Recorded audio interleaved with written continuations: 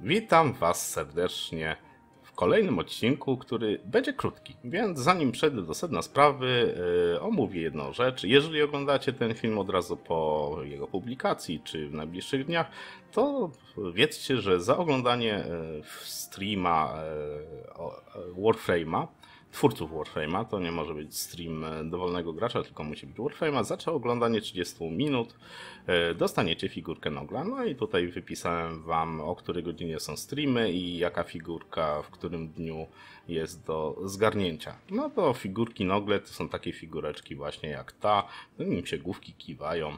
Można je sobie też kupić na rynku. Proszę bardzo, wpisujecie figurka macie listę wszystkich figurek dostępnych. I one kosztują po 35 platyny. Jeżeli y, uważacie, że macie szczęście i chcecie dostać dowolną z tych figurek, to wpiszcie w komentarzu y, swój nick z gry. Niestety dotyczy to tylko graczy na PC, bo tylko graczom na PC mogę przesyłać prezenty. I za nickiem wpiszcie nazwę figurki, która Was interesuje. Na przykład, jeżeli Was interesuje Volt, wpiszcie Volt, tak? Jeżeli Zephyr, to Zephyr. Możecie wybrać dowolną z tych figurek, które są dostępne na rynku. E, I pośród Was e, jedna osoba otrzyma ode mnie tą figurkę, którą sobie zażyczyła. Powiążę to e, z losowaniem z filmu 66 Mm, tam jest też konkurs, w którym możecie wygrać naprawdę fajną rzecz, więc e, jeżeli do tej pory nie wzięliście udziału w tym konkursie, to polecam przejść do filmu o numerze 66 z Warframe'a i wziąć udział i losowania powiążę z sobą, e, czyli e, po 25 zrobię transmisję na żywo, w której będę losował nagrody i z tamtego filmu i dla jednego szczęśliwca z tego filmu figurkę. No i to byłoby na tyle, jeżeli chodzi o takie rzeczy. Przejdźmy e, do konkretów. W poprzednim filmie e, opisałem, jak polować na Eidolona Terralista. Jednak do tego potrzebny jest AMP, a w przypadku AMPa potrzebujemy trochę materiałów do zbudowania i w przypadku e, niektórych z tych elementów potrzebujemy ogniki Cetus.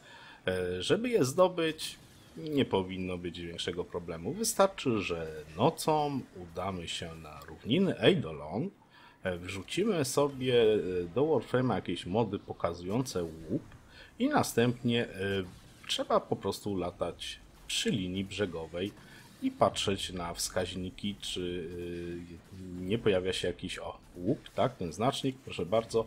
E, na ogół e, przy linii brzegowej, jeżeli będzie taki znacznik, że tam coś jest, to najprawdopodobniej będzie to ognik Cetus.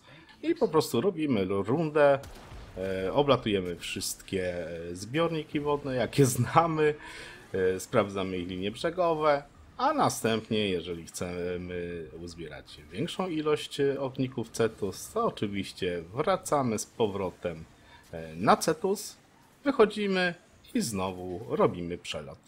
Jeżeli macie wzmacniacze zasobów, e, nie będziecie otrzymywali jedną sztukę e, ognika, tylko dwie, więc oczywiście warto sobie zakupić wzmacniacz, jeżeli potrzebujecie tych ogników dużą ilość, Dzięki temu skrócicie e, jakby czas zbierania. No jak widzicie, już co nieco znalazłem. Przy każdym takim przelocie powinniście znaleźć tak mniej więcej od 4, 4 do 10 sztuk. Nawet przy dobrych wiatrach, tak to określę. E, więc myślę, że w ciągu nocy no, możecie uzbierać e, sporo ogników. No tutaj zmyłka, nie był to ognik, tylko pojemnik, który można rozwalić. No to oczywiście go rozwaliłem, bo czemu by nie. Także jeżeli chodzi o ogniki Cetus, to jest najlepsza metoda ich zdobywania. Oczywiście można je także e, kupić e, u Quillów, e, jeżeli macie wysoki poziom e, u nich e, reputacji, ale oczywiście koszt to jest reputacja, a reputacja u Willów pochodzi z rdzeni świadomych. No i oczywiście te rdzenie świadomych też potrzebujecie, żeby w ogóle wbijać tą reputację, żeby móc w ogóle zakupić te części do AMPA. No ale to z tym nie ma problemu. Na początku też w nocy się udajecie, polujecie sobie na wormalisty, za chwilę to pokażę jak. E, A później jak już zaczniecie polować na eidolony, to w trakcie e, takiego polowania uzbieracie sporo różnego rodzaju rdzeni, które dają e, ró- różną ilość reputacji. Oczywiście te rdzenie z normalystów, one dają najmniej, ale już za zbijanie poszczególnych e, części Heralista wypada lepszy rdzeń, e, który jest wart więcej, jeżeli chodzi o reputację. No, z kolei jeżeli chodzi o formalistów, to wiadomo, wchodzimy w operatora i ampem je rozwalamy. Je- Jeżeli macie bardzo słabiutkiego ampa, to najpierw e, zwykłą bronią strzelacie do nich, e, żeby straciły formę materialną, a dopiero ampem staracie się ich dobić, żeby wypadł rdzeń. Proste? Myślę, że proste. Przy okazji oczywiście możecie zbierać sobie w nocy zasoby, no i oczywiście zdobyć z kolei e, ogromną ilość e, reputacji polując na zwierzęta, zwłaszcza na te e, zakażone kawaty, których jest tutaj mnóstwo, kręci się nocą.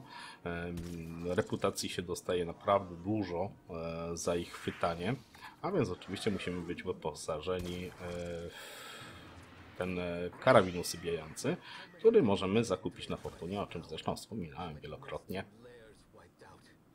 Dobra, jeszcze przy okazji e, iradyt sobie zdobyłem, czemu by nie. Dobra, gdzie ten kawat upada? Biega? A nie, tam leży, widzicie? Okej. I to jest wszystko, co chciałem Wam opowiedzieć w tym odcinku. Także dziękuję za uwagę. E, Mam nadzieję, że jakąś łapkę w górę otrzymam, za co bardzo serdecznie dziękuję. Trzymajcie się. Cześć.